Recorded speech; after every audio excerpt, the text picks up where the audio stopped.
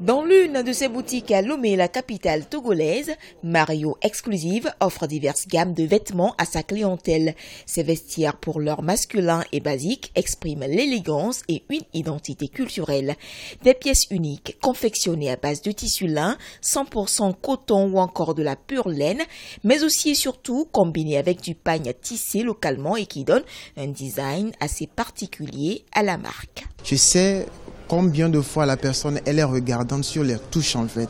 Elle est perfectionniste. Là, quand on porte Mario, on a l'impression d'être dans un monde de rêve. Latif Geri Madikeni est le créateur de la marque Mario Exclusive 100% made in Togo.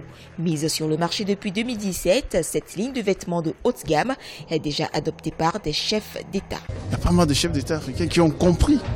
Et notre combat, c'est quoi? C'est d'arriver que dans les grands sommets internationaux, africain que chaque chef d'État africain puisse s'habiller en tenue ethnique. Le 10 août 2018 à Lomé, Mario Exclusive s'est dévoilé au public à travers une soirée de gala.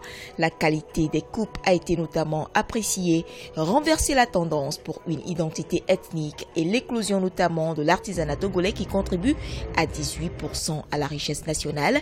Telles sont les ambitions du designer Latif Dikeni.